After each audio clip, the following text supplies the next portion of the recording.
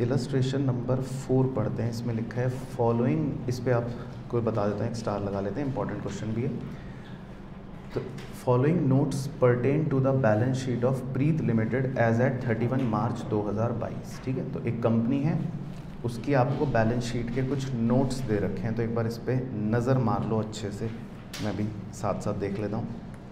तो सबसे पहले दे रखा है ऑथोराइज कैपिटल ठीक है? ऑथोराइज्ड कैपिटल आपको याद है कौन सी होती है? जो मेमोरेंडम के अंदर मैक्सिमम कैपिटल मैंशनड होती तो इनके पास पंद्रह हज़ार तो प्रेफरेंस शेयर्स हैं, दस रुपये ईच के, और one lakh fifty thousand equity shares हैं, दस रुपये ईच के। तो ये इनकी ऑथोराइज्ड कैपिटल है। सोलह लाख पचास हज़ार, ठीक है? लेकिन इन्होंने पब्लिक को कितने इशू कर रखे हैं वो देखो अब नीचे। इशूड या सब्सक्राइब कैपिटल तो पंद्रह में से प्रेफरेंस शेयर सिर्फ़ बारह हज़ार ही पब्लिक को इशू कर रखे हैं। ओके जी? तो इनसे तो मुझे ज़्यादा मतलब नहीं है। लेकिन अब अगली लाइन जो देखनी है वो आपको अपने आँखों को फाड़ फाड़ के देखनी है कि कंपनी ने कितने इक्विटी शेयर्स इशू कर रखे हैं। सिर्फ़ एक लाख पैंतीस हज़ार शेयर्स और ऑफ़ रुपी टेन ईच के बाद जो लिखा है, उसके बाद तो आपका दिमाग खुल जाना चाहिए। ठीक है तो समझ गए भाइयों बहनों?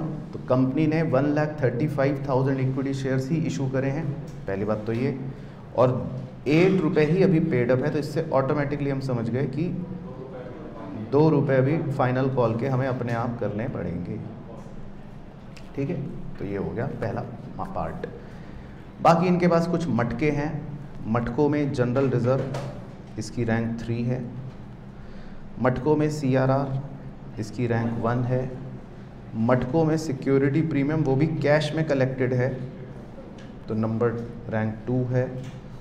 और P N L account rank three B कह देते हैं मतलब थ्री में भी निचली वाली। तो चार मटके हो गए, ठीक है।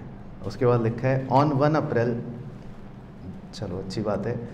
The company has made a final call of rupee two each on एक लाख पैंतीस हज़ार इक्विटी शेयर तो उन्होंने खुद ही बता दिया और आगे ये भी लिख दिया the call money was received by बीस अप्रैल। ओके। नहीं मिलते, ज्योति जी, नहीं मिलते जनरली तो कंपनी ने दो रुपए की फाइनल कॉल करी है एक अप्रैल को। और बीस अप्रैल को पैसे मिल गए, ये भी लिखा है। तो भाई ओके हो गया। देयर आफ्टर उसके बाद the company decided to capitalise its reserve by way of bonus at the rate अब रेट ध्यान से पढ़ना, सभी नलायक बच्चे। One share for every four shares held यानी कि हर चार शेयर के बदले में एक शेयर फ्री मिलेगा। तो अब बताओ, एक लाख पैंतीस हज़ार शेयर्स के बदले में कितने फ्री हो गए? एक लाख पैंतीस हज़ार इक्विटी शेयर्स के बदले में कितने मिल गए फ्री ठीक है thirty three thousand seven fifty shares free मिल गए भाइयों बहनों। तो भाई क्लियर हो गया यहाँ तक? ठीक है। तो बस क्वेश्चन कह रहा है show necessary journal entry in the books of the company तो दिमाग में वो चारों एंट्री चल गई आपके। दो फाइनल कॉल की, दो बोनस की। हाँ सैंक्शन की और इशू की। तो चार तो कह रहे हैं जनरल एंट्री करो। लेकिन इसमें जो हमें एक मेन चीज़ और करनी है, वो ये कह रहा है prepare extract of the balance sheet on तीस अप्रैल आफ्टर बोनस इशू कह रहा है बोनस इशू के बाद ना, फिर ये जो एक्सट्रैक्ट है, इसमें चेंज हो जाएगा, वो चेंज भी बना कर दिखाना। तो वो बना लेंगे उसमें क्या चलो, ठीक है? तो लिखो सॉल्यूशन फोर कर लेते हैं आगे।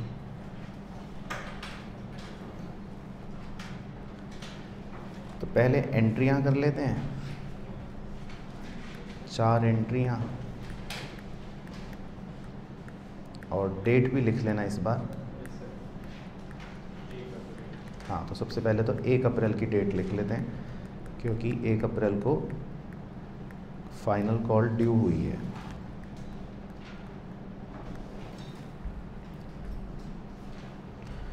तो वन अप्रैल, बताओ फाइनल कॉल ड्यू की entry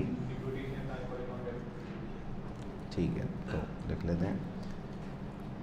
Equity share final call account debit तो one lakh thirty five thousand shares हैं और दो रुपये दो सत्तर। To. Equity share capital account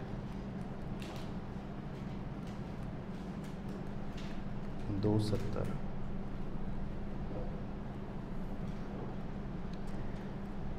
उसके बाद 20 अप्रैल को लिखा था, पैसे मिल गए। पैसे आ गए हाँ। तो लिख लेते हैं।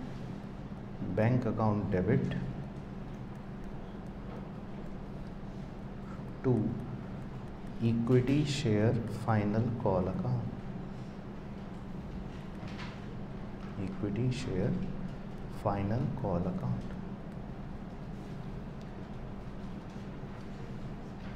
ठीक है तो ये क्लियर हो गया सबको?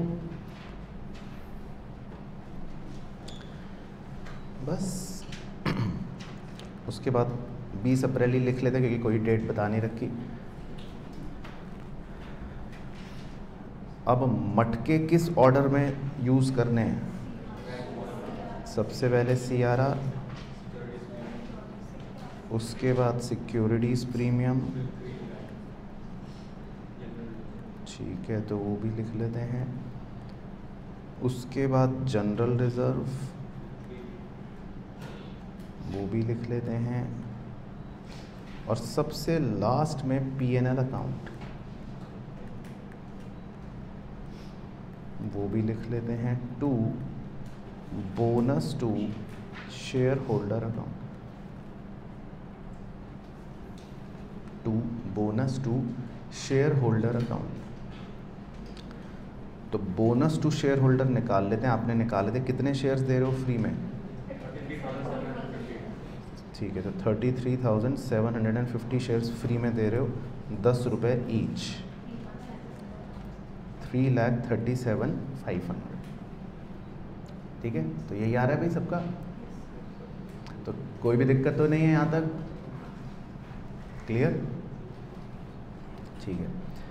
अब किस मटके में कितने रुपए हैं वो सवाल में देख लेते हैं। तो सी आर आर में है आपके साठ हज़ार, है ना? रैंक वन इसको यूज़ कर लो पहले। सी आर आर में है सिक्सटी तो sixty thousand C R R use हो गया रैंक वन उसके बाद सिक्योरिटी प्रीमियम है, में है सैंतीस पाँच सौ। तो रैंक टू सिक्योरिटीज़ प्रीमियम भी यूज़ कर लो, सैंतीस पाँच सौ। फिर जनरल रिज़र्व में आपके पास है एक लाख अस्सी वन एट्टी तो रैंक थ्री में ये भी यूज़ कर लो वन एट्टी अब जितने और ज़रूरत पड़ गए वो पी एन एल से निकाल लो। तो देखो कितना बैलेंस बच रहा है। सिक्सटी थाउज़ेंड तो ये आपने चारों मटके इस्तेमाल कर लिए बोनस शेयर्स इशू करने के लिए। ठीक है जी? तो क्लियर हो गया सबको? और उसके बाद लास्ट एंट्री भी आप बताओ क्या हो गई? Bonus to share holder account debit to equity share capital account to equity share capital account three thirty seven five hundred तो इसका मतलब आपने तैंतीस हज़ार सात सौ पचास शेयर्स और इशू कर दिए फ्री में। ठीक है जी? तो क्लियर हो गया यहाँ तक चलो अब इनका इफ़ेक्ट एक बार सिखाने के लिए, क्योंकि मेरे को लगता है मेरा मॉरल फ़र्ज़ है तो सिखा देता हूँ। बाकी तो खैर आप होशियार हो, लेकिन फिर भी। अब इन एंट्रियों का पहले इफ़ेक्ट सिखा रहा हूँ तो अब आप मत कुछ लिखना या करना। तो शेयर फाइनल कॉल और शेयर फाइनल कॉल तो आपस में कट जाएगा। एक तरह से भाई ओके अब जैसे ही आप लिखते हो टू इक्विटी शेयर कैपिटल दो लाख सत्तर। तो इसका मतलब है आपकी कैपिटल बढ़ी या घटी? बढ़ गई। क्योंकि शेयर कैपिटल को क्रेडिट करने का मतलब है आपकी कैपिटल और बढ़ जाती। है भाई ओके है पॉइंट फिर बैंक को डेबिट करने का मतलब है कि आपके बैंक में पैसे क्या हो जाएँगे? बढ़ जाएँगे। तो ओके उसके बाद सी आर आर को डेबिट करने का मतलब है रिज़र्व को डेबिट करने का मतलब है कि रिज़र्व कम हो जाएगा वेरी गुड सिक्योरिटी प्रीमियम कम हो जाएगा वेरी गुड जनरल रिज़र्व कम हो जाएगा वेरी गुड और पीएनएल कम हो जाएगा। तो भाइयों ओके है सबको? Bonus to share holder bonus to share holder cut गया। डेबिट क्रेडिट तो इसका कुछ नहीं। ठीक है जी? और टू इक्विटी शेयर कैपिटल और लिख लिया। तो इसका मतलब आपने तैंतीस सात सौ पचास शेयर्स और इशू करें तो इसका मतलब आपकी कैपिटल और बढ़ जाएगी। तो क्लियर हो गए इफेक्ट्स तो इन इफेक्टों को मद्देनज़र रखते हुए हम अपने अब बैलेंस शीट की फिगरों में परिवर्तन करेंगे। ठीक है जी? चलो तो वो आप मेरे साथ साथ ही बना लो।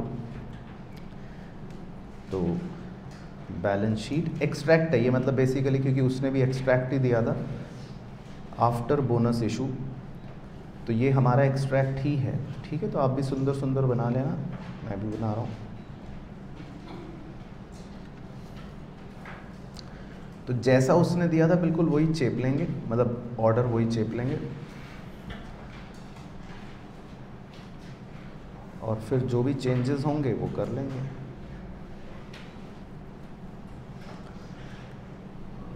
तो सबसे पहले उसने दिया था शेयर कैपिटल।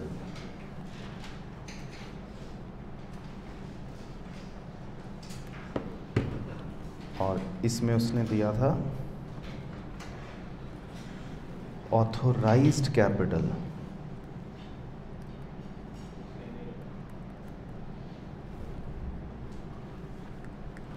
है ना? तो वो उसने दिया था, सिर्फ़ एक बार दिखाने के लिए दिखा रहा हूँ आपको। पंद्रह हज़ार ट्वेल्व परसेंट प्रेफरेंस शेयर और one lakh fifty equity share है ना? तो ऑथोराइज तो हमें चेंज नहीं करने या करने हैं, बताओ? नहीं करने? वो तो मैक्सिमम लिमिट है वैसे तो वही छोड़ देते हैं। तो वो तो एज इट इज़ चेप लो, पंद्रह हज़ार twelve percent preference shares of rupee ten each डेढ़ लाख। और one lakh fifty equity shares of rupee ten each तो ये तो आप एज इट इज़ ऐसे ही छोड़ दो।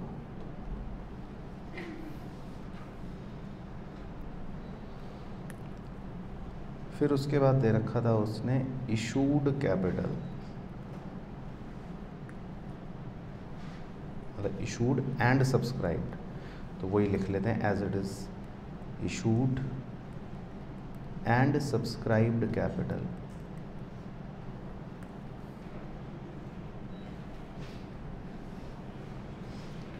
तो वो देख लेते हैं वो कितना दे रखा था पहले।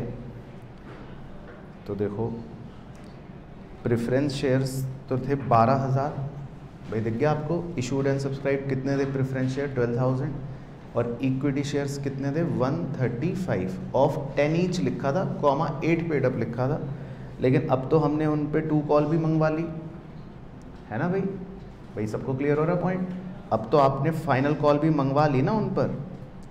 तो अब पहले प्रेफरेंस शेयर लिख देता हूँ। तो इशूड में तो आप लिख लो twelve percent twelve percent preference shares of rupee ten each एक लाख बीस।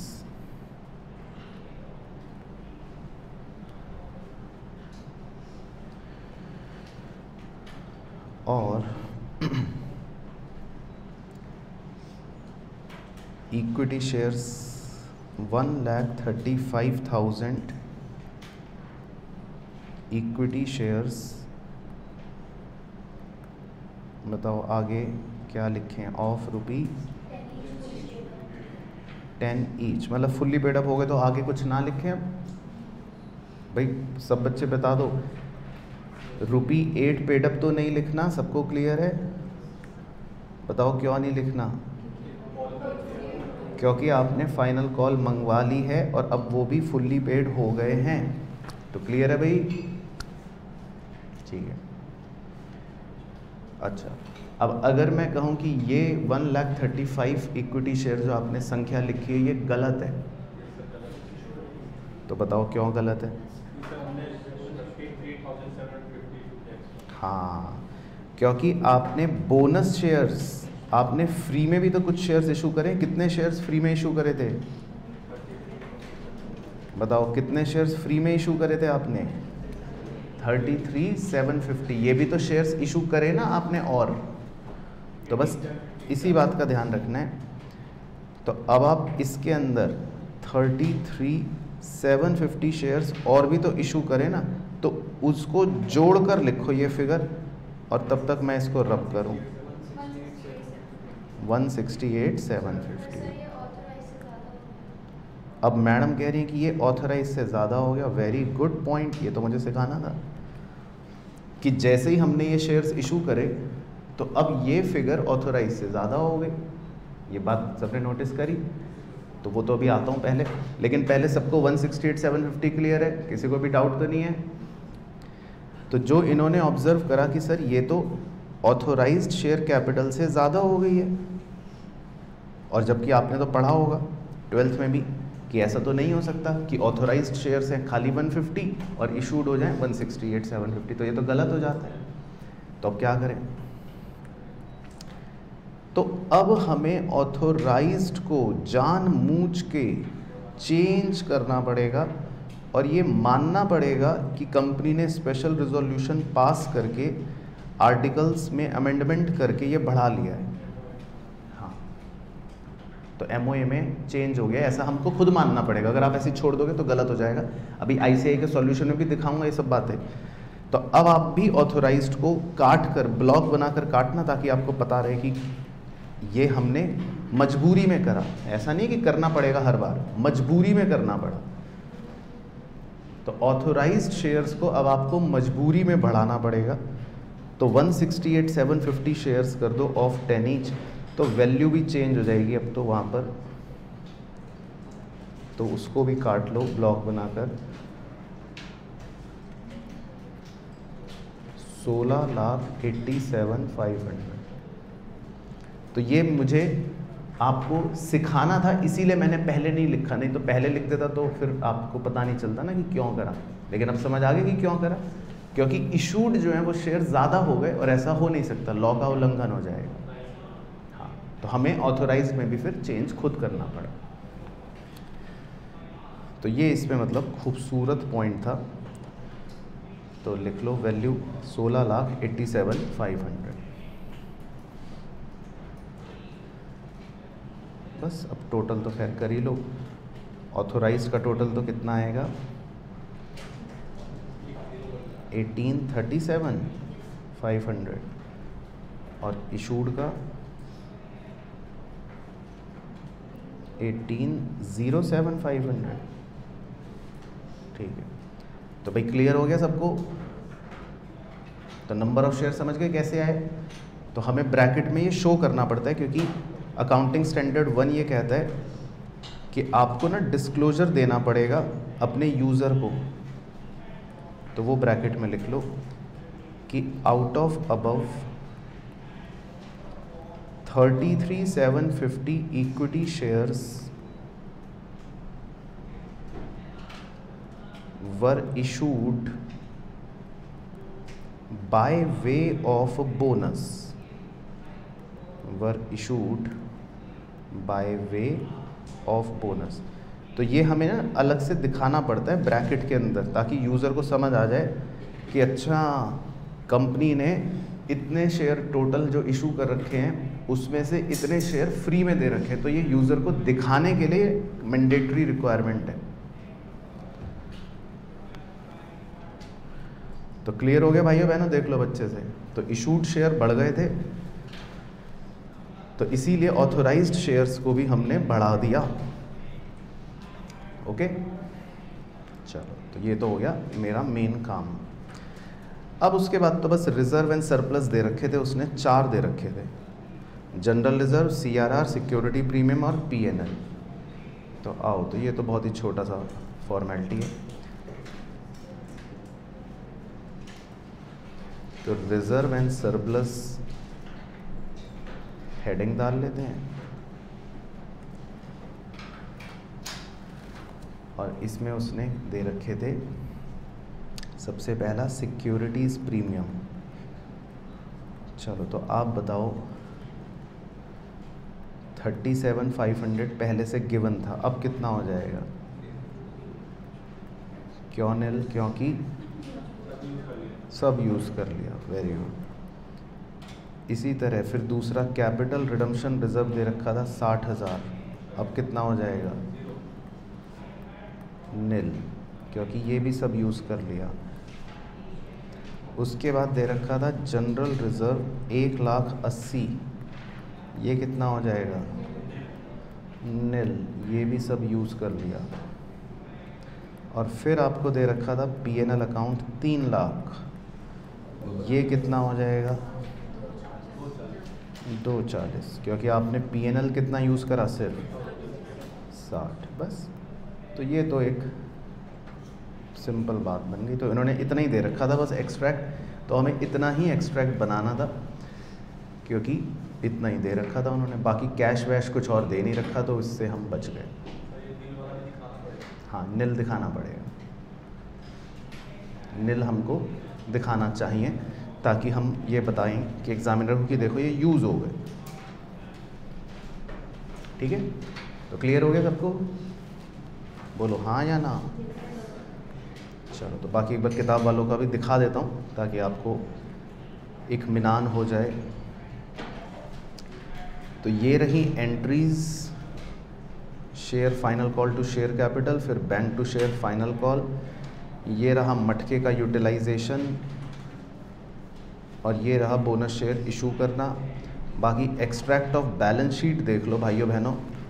ऑथोराइज्ड शेयर कैपिटल में कितना कर दिया इन्होंने भी? 168 750 और लिखा भी, अभी पढ़वाऊँगा भी। रिफ़र वर्किंग नोट बिलो अभी पढ़वाऊँगा। बाकी इशूड शेयर्स तो एज इट इज़ आ गए और वो देखो यूज़र को दिखाने के लिए मैंडेटरी नोट भी आ गया। बाकी रिज़र्व एंड सरप्लस में premium nil CRR nil general reserve nil और पीएनएल दो चार तो क्लियर हो गया? बाकी नोट पढ़ लो, किताब वालों का। अच्छा नहीं, पता नहीं कहाँ दे रखा है नोट। अच्छा ये रहा। हाँ। तो नोट यही दे रखा है कि भाई authorised share capital should be increased और डिटेल तो खैर आपको पता ही चल गई। तो तो मतलब समझ गए ना कि ऑथोराइज शेयर कैपिटल आपको बढ़ानी पड़ेगी क्योंकि आपके इशूड शेयर ज़्यादा हो रहे थे। ठीक है जी चलो तो नेक्स्ट है बहुत ही छोटा सा illustration five a company offers new shares of rupee hundred each at twenty five percent premium तो एक कंपनी जो है वो अपने नए शेयर्स सौ रुपये की जिसकी फेस वैल्यू है 25 परसेंट प्रीमियम पर इशू कर रही है। और लिखा है टू एग्जिस्टिंग शेयर होल्डर्स अपने एग्जिस्टिंग शेयर होल्डर्स को कर रही है इशू ऑन ऑन के बाद पढ़ लेना। वन फॉर फोर बेसिस इसका मतलब है कि हर चार के बदले में एक मिलेगा। वन फॉर फोर का समझ गए बेसिस का मतलब? हर चार के बदले में एक मिलेगा। फिर लिखा है, cum right market price is 150 मतलब मार्केट प्राइस राइट्स इशू आने से पहले का दे रखा है तो पहले कितना मार्केट प्राइस दे रखा है? 150 है ना? कम राइट प्राइस में कैलकुलेट वैल्यू ऑफ़ राइट कह रहा है वैल्यू ऑफ़ राइट निकालो, और what should be the ex right market price और कह रहा है एक्स राइट मार्केट प्राइस निकालो। तो ये तो आपसे करवा सकते हैं, है ना? तो एक बार करो, चलो, अपने हुनर का प्रदर्शन दिखाओ, चार मिनट। तो बताओ फिर एक्स राइट मार्केट प्राइस आ गया सबका? ठीक है 145 आ रहा होगा। ठीक है। और वैल्यू ऑफ़ राइट फिर फाइव चलो, सही है। तो वैसे इत्तेफाक से वही फिगर्स हो गई ऑलमोस्ट वैसी जो एग्ज़ाम्पल में भी थी। ठीक है तो क्लियर हो गया तो सिंपल चलो चलो तो अब चलते हैं कुछ इजी इजी क्वेश्चन पे दिमाग को शांत करने के लिए, जैसे पहले हैं ट्रू फॉल्स तो नंबर वन में पूछ रहे earning per share gets increased after bonus issue तो ये याद है आपको? क्योंकि बोनस शेयर्स इशू करने से हमारे नंबर ऑफ़ शेयर बढ़ जाते हैं, है ना? नंबर ऑफ़ शेयर्स इंक्रीज़ हो जाते हैं। और जब नंबर ऑफ़ शेयर इंक्रीज़ हो जाएँगे तो अर्निंग पर शेयर कम हो जाएगा डिक्रीज़ हो जाएगा। तो ये लिखा था हमने वैसे इफ़ेक्ट ऑफ़ बोनस शेयर में। ठीक है फॉल्स सेकंड है issued share capital including issue of right shares and bonus shares may be more than authorised capital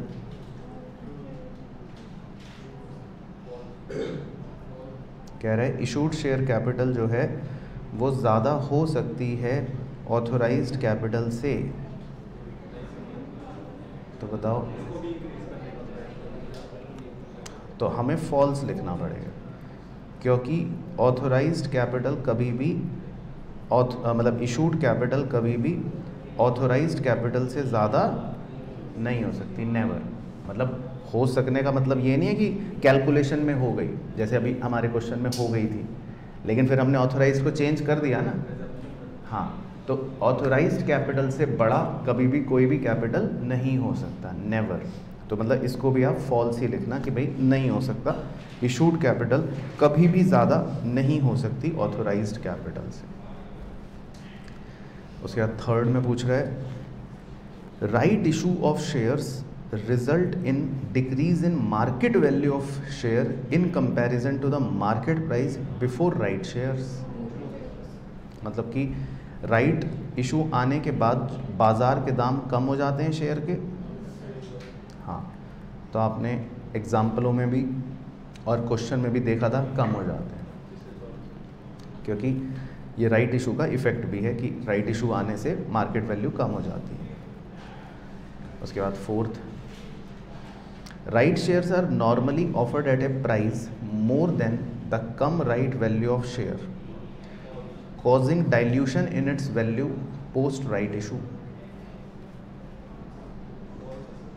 और क्यों फॉल्स है? हाँ कम राइट से लेस प्राइस पर होता है, भाई सस्ते में देते हैं। अगर कम राइट वैल्यू से भी ज़्यादा कहीं देंगे तो फिर तो राइट शेयर का कॉन्सेप्ट ही नहीं बना।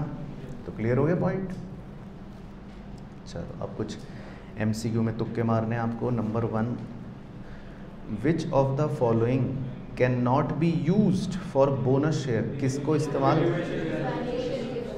ठीक है तो गुब्बारा। याद आ गई कहानी? चलो okay second which of the following statement is true with regard to declaring and issue of bonus shares क्या सच है? तो पढ़ लेते हैं। Assets are transferred from the company to share holder ये तो झूठ है। The bonus issue result in decrease in reserve तो यही सच है कि बोनस इशू करने से हमारे रिज़र्व कम हो जाते हैं। ठीक है। उसके बाद third which of the following statement is true इसमें भी आपको बताना है क्या सच है।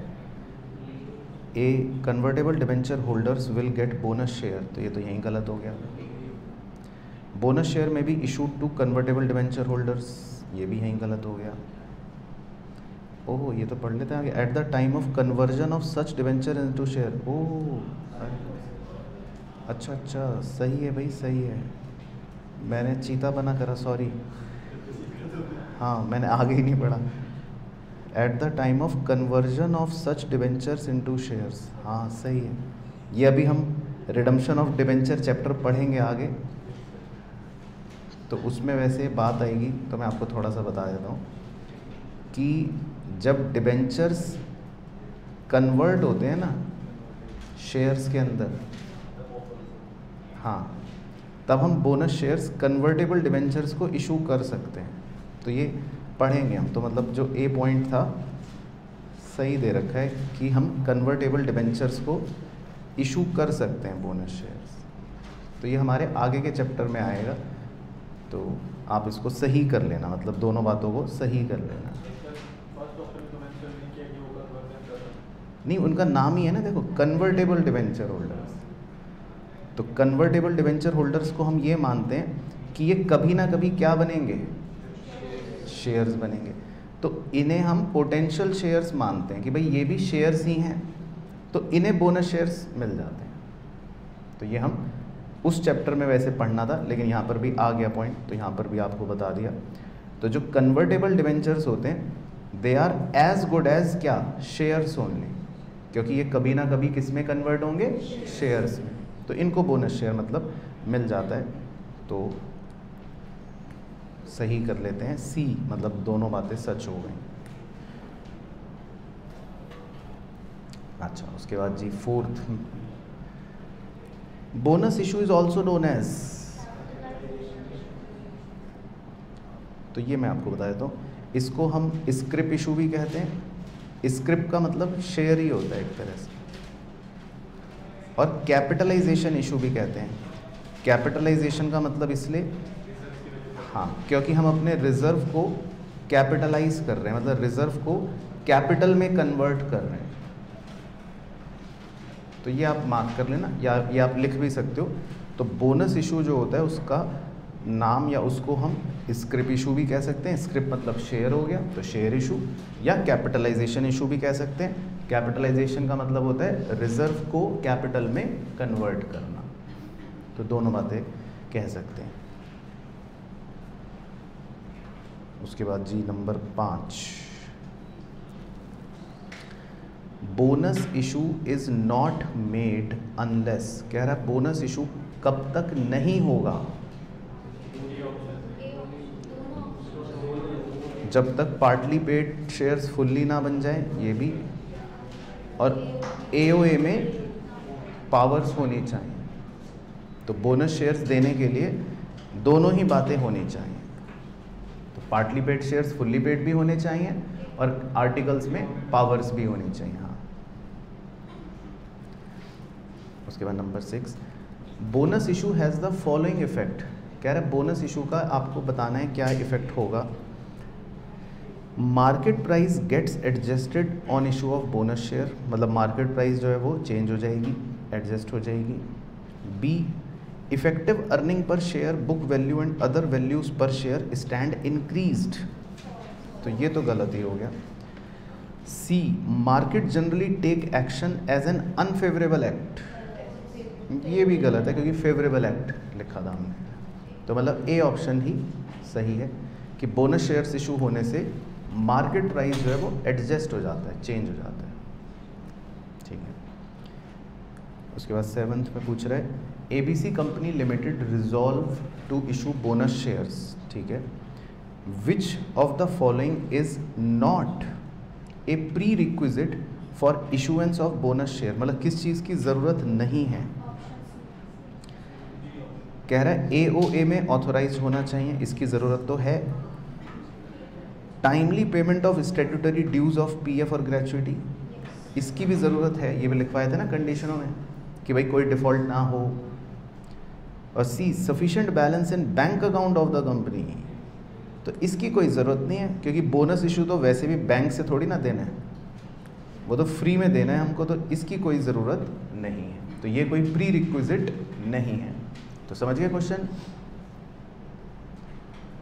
उसके बाद eighth in case of further issue of shares कह रहा है कि अगर हम और शेयर्स इशू करेंगे the right to renounce the shares in favour of a third party फिर आगे कह रहा है A must include a right exercisable by the person concern to renounce the shares B should include a right exercisable by the person concern to renounce the shares C is deemed to include a right exercisable by the person concerned to renounce the share subject to the provision under the articles of the company.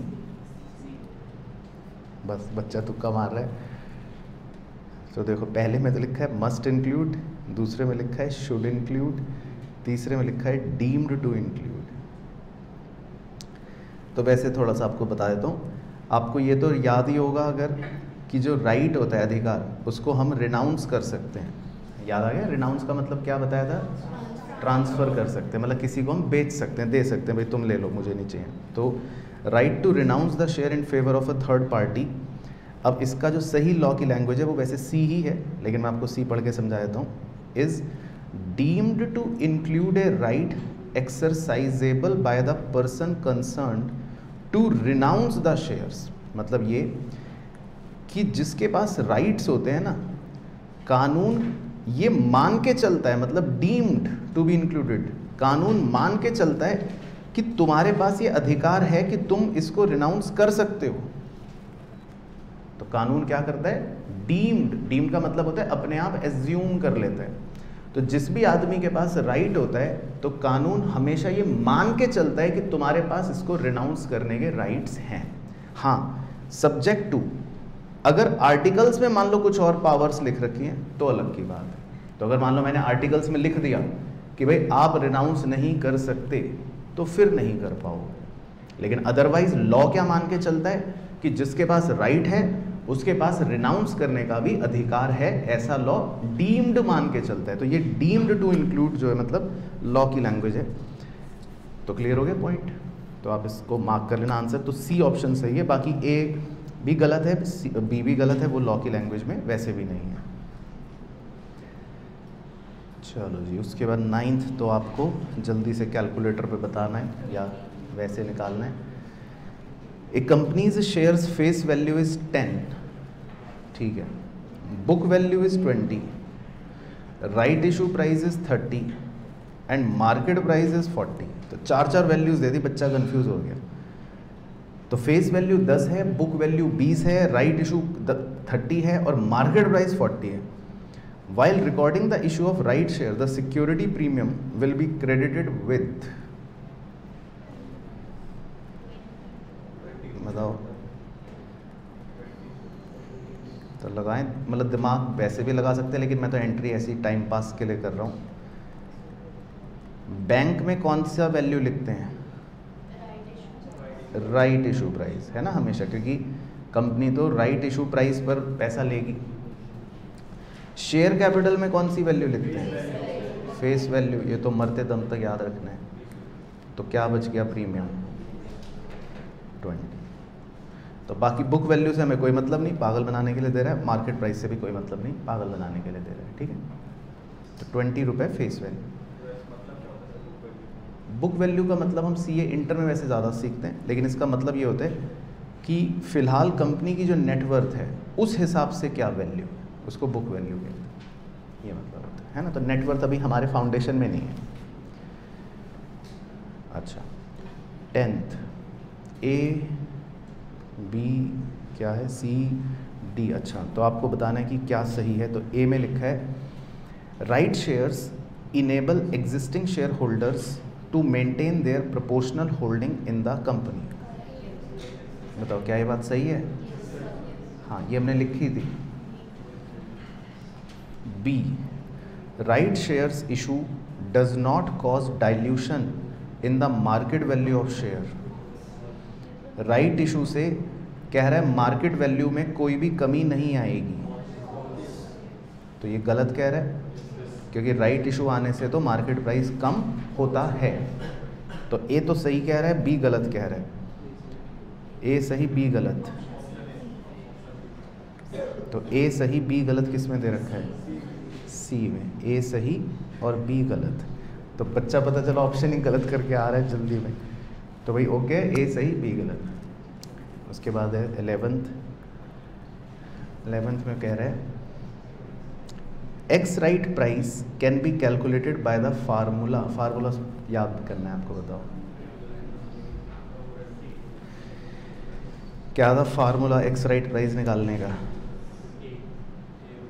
Cum right value of existing share plus right share issue proceeds hold divided by existing number of share plus number of right shares B में कह रहे हैं cum right value of existing share plus right issue proceed अच्छा तो इसमें इन्होंने B में multiply दे दिया तो ये यहाँ गलत हो गया। और यहाँ पे माइनस दे रहा है, ये यहाँ गलत हो गया। तो ए ही है वैसे। तो यही फॉर्मूला है एक्स राइट प्राइस का निकालने का। ठीक है तो क्लियर हो गए? अच्छा तो ये भी हो गया एक मज़ेदार क्वेश्चन अब चलते हैं एक बड़े क्वेश्चन की तरफ़ अग्रसर करते हैं। प्रैक्टिकल क्वेश्चन नंबर टू करवा देते हैं आपको तो ये भी मतलब आपको एक वैरायटी मिल जाएगी कि और क्या आएगा या कैसा आता है। तो इसमें लिखा है the following notes pertain to Bright limited balance sheet as at इकतीस मार्च। ठीक है। चलो। तो अब देखो, पहले नोट्स एक बार अच्छे से गो थ्रू कर लो। ऑथोराइज्ड कैपिटल दे रखी है आपको, ठीक है? 20 करोड़ शेयर्स ठीक है ऑफ़ दस ईच तो बच्चा कह रहा है, सर, बीस हज़ार रुपये कैसे हो गए तो रूबी इन लैक्स है, ठीक है। फिर इशूड शेयर्स में लिखे हैं, दस करोड़ शेयर्स इशू करे सिर्फ़ दस करोड़ ऑफ़ टेन ईच ठीक है। बाकी दो करोड़ प्रेफरेंस शेयर्स भी इशू कर दिए, ठीक है। और फिर लिखा है called up and paid up ये आँखें फाड़ फाड़ के देख लेना कि दस करोड़ इक्विटी शेयर ऑफ़ दस each comma rupee at called up तो इसका मतलब क्या? दो रुपए फाइनल कॉल आपको अपने आप करनी पड़ेगी। चलो, ठीक है। बाकी क्यूमुलेटिव प्रेफरेंस शेयर तो फुल्ली पेड है तो उससे तो मुझे कोई मतलब नहीं। अब आओ, मटके कौन कौन से हैं आपके पास? C R R rank one security premium वो भी कैश में collected rank two general reserve rank three और P N L three B कह देते हैं। चलो on second April 2022 the company made a final call on equity share of rupee two तो दो अप्रैल को कंपनी ने फाइनल कॉल तो कर ली दो रुपए की, और entire money was received in the month of April और सारा पैसा अप्रैल के महीने में मिल गया। ठीक है? On one June the company decide to issue equity share बस आगे पढ़ लो जी bonus shares at rate of two shares for every five shares held तो हर पाँच शेयर के बदले में दो शेयर मुफ़्त मिलेंगे, ठीक है? ऐसे याद रखना। हर फाइव के बदले में दो फ्री मिलेंगे। तो कंपनी के पास है दस करोड़ इक्विटी शेयर्स तो बताओ कितने हो गए फ्री दस करोड़। और हर पाँच के बदले में दो फ्री मिलेंगे। तो कितना हो गए फ्री चार करोड़। तो इसका मतलब कंपनी ने चार करोड़ शेयर्स फ्री में दे दिए बोनस शेयर्स तो भाई ओके है? सबको क्लियर है? चलो, ठीक है। तो पहले एक सेकेंड तो चार करोड़ शेयर्स फ्री में इशू कर दिए, ये आपको ध्यान रखना है। ठीक है। बस फिर उसके बाद लिखा है पास द जर्नल एंट्रीज तो इसमें तो आप चैम्पो कर लोगे अपने आप। बोलो हाँ? बताओ कितनी एंट्रीज करोगे?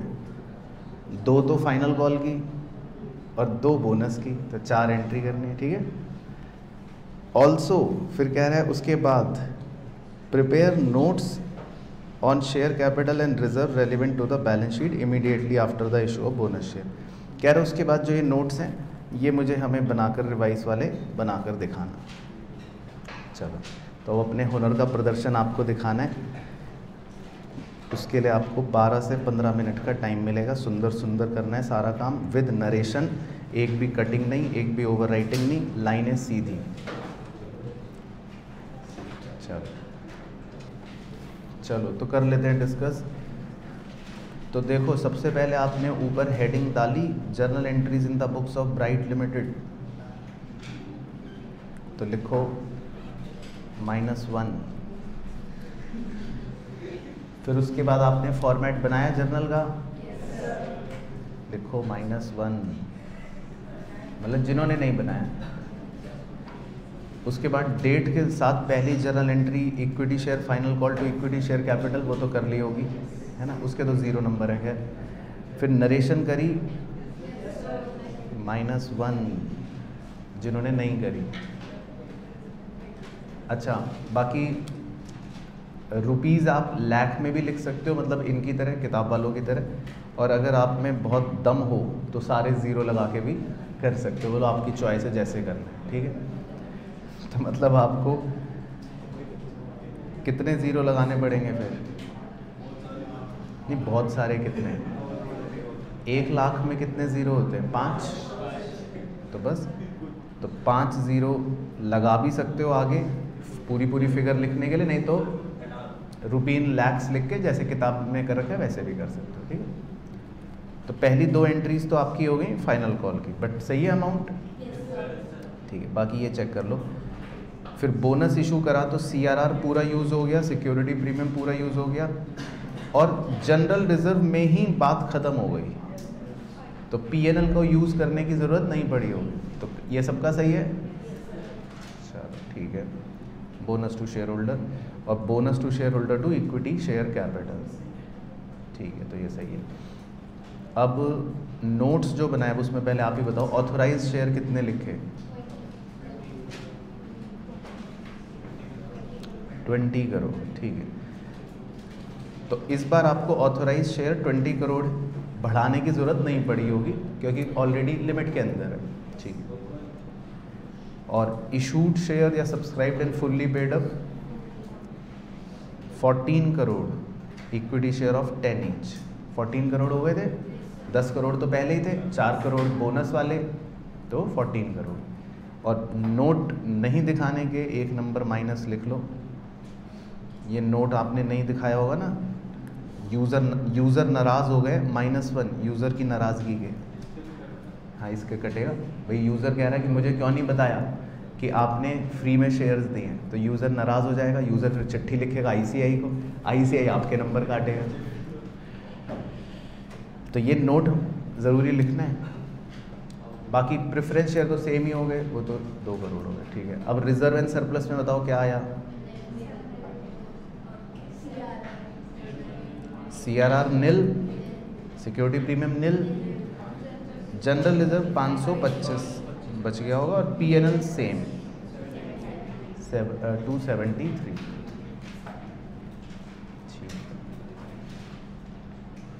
तो समझ आया?